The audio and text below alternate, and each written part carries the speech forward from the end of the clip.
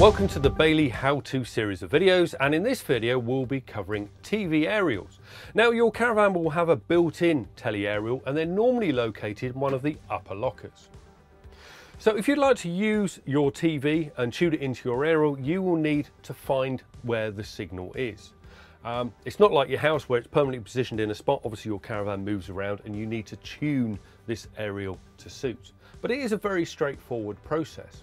Now the first thing to do is probably to look at the other caravans behind me and see where their TV aerials are pointing. And it looks to me as though they're roughly in that direction.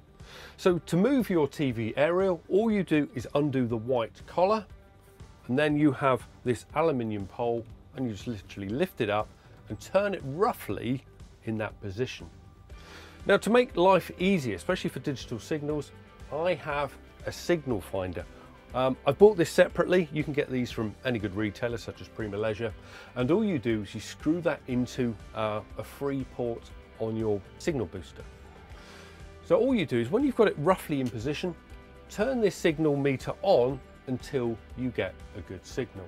And then you just fine tune it. We, we just turn it in that direction until you get a really good signal. Now, as a bit of a caveat here, this is a first for me. Um, I've got full signal already.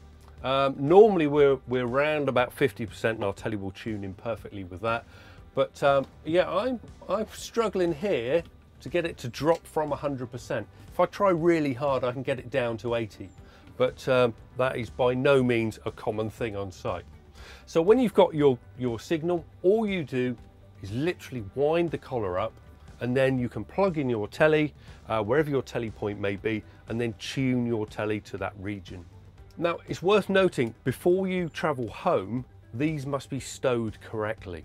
Now that means that the uh, you must undo that collar, lower that aluminium tube, and then make sure that the aerial is facing towards the back of the caravan, or it could be damaged whilst you're traveling. Now, occasionally you may find that the signal is vertically polarized. Normally they're horizontal, which means that the aerial must be flat.